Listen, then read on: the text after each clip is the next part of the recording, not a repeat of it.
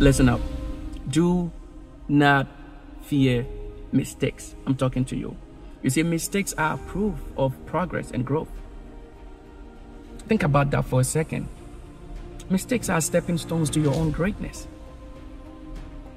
And so every time you stumble, you are not falling back. No, you are actually moving forward. You are learning, you are evolving, you are getting one step closer to your dreams, to your goals.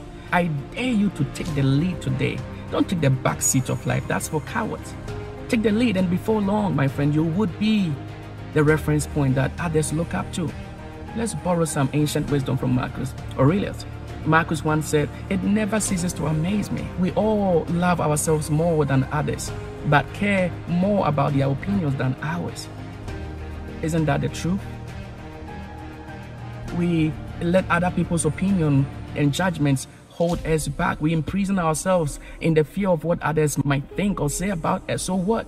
Their opinions, they are just noise. At the end of the day, it is your vision, it is your dream, it is your passion that truly counts and matters. All over the world, people wake up thinking they are living, but they've never truly lived. Are you going to continue to live this way or you're going to break free, you know, embrace your fears and step into the life that you've always wanted to live?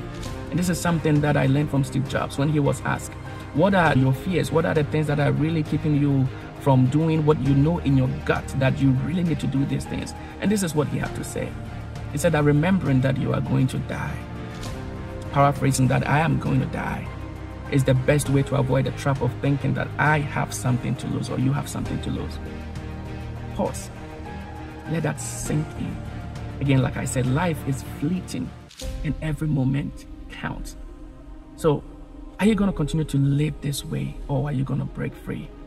Always remember, mistakes are not your enemy. So do not fear mistakes. Do not fear mistakes. They are proof of progress and growth. I'm doing this video because I want you to, to thrive.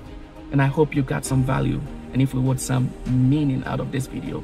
And if you're still wondering, I'm Charles, the Meaning Maker. Peace.